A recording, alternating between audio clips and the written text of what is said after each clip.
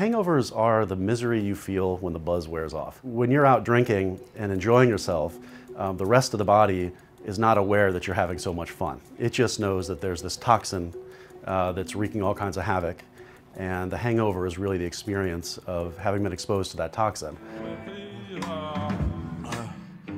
As far as the brain is concerned, uh, what goes up must come down. I think it's helpful to think of a hangover as like a, like a day-long cold or something. Um, the question is, how do you feel more comfortable when you're homesick? As long as people have been drinking alcohol, they've probably been trying to figure out how to avoid a hangover. And so far, nobody has figured that out. I invented the first product ever designed to reduce the negative effects of alcohol.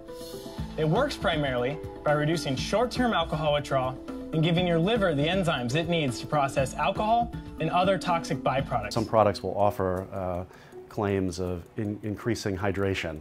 Um, so providing electrolytes and things to restore electrolytes you've lost and help uh, restore fluid balance in the body. There are products that offer anti-inflammatories like aspirin um, to try to address some of the, the pain and malaise that comes from, uh, from inflammation in the body.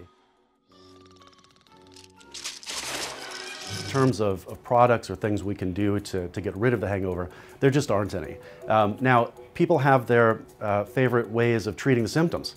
And so whatever works for people, um, you know, do that, as long as it's not drinking more alcohol.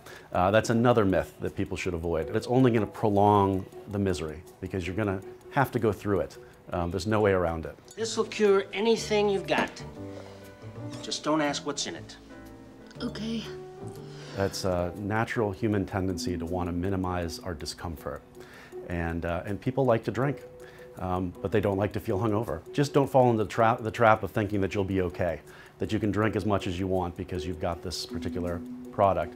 As of now, we just don't have any strong evidence that, um, that products like, like the ones on the market can work.